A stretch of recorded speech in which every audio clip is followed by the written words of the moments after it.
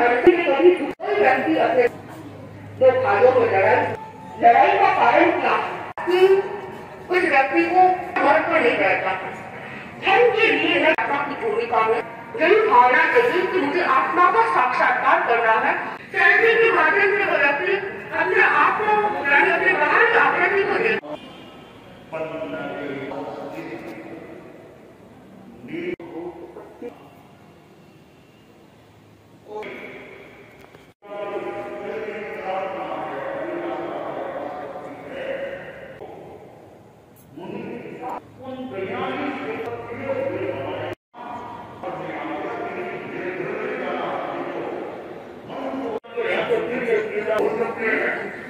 तो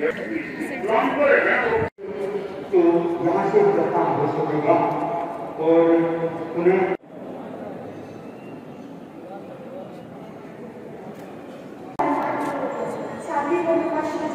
चैनल में भाग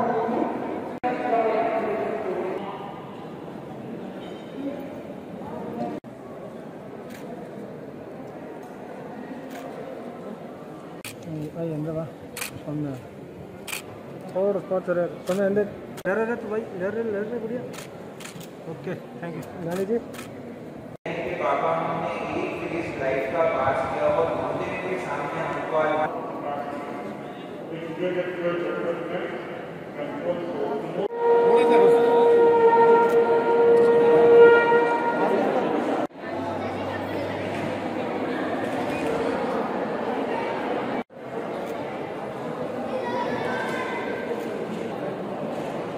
अभी दिनांक 23 और 24 को मेधावी सम्मान समारोह का आयोजन किया गया under the banner of Terapanth Professional Forum इस कार्यक्रम के अंदर जो भी बच्चे दसवीं और बारहवीं के अंदर पिचासी प्रतिशत से ज़्यादा लाए हैं, उन सभी को गुरुदेव के सामने सर्टिफिकेट दिया गया और मेडल से सम्मानित किया गया।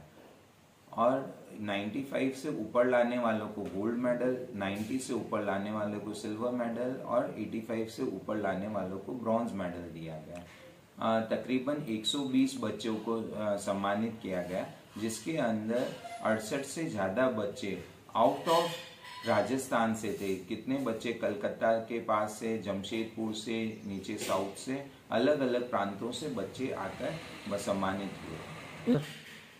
इसमें एक गुरुदेव ने गाइडलाइन दी थी और गुरुदेव का विशेष निर्देश था बच्चों को प्रोत्साहित करने के लिए।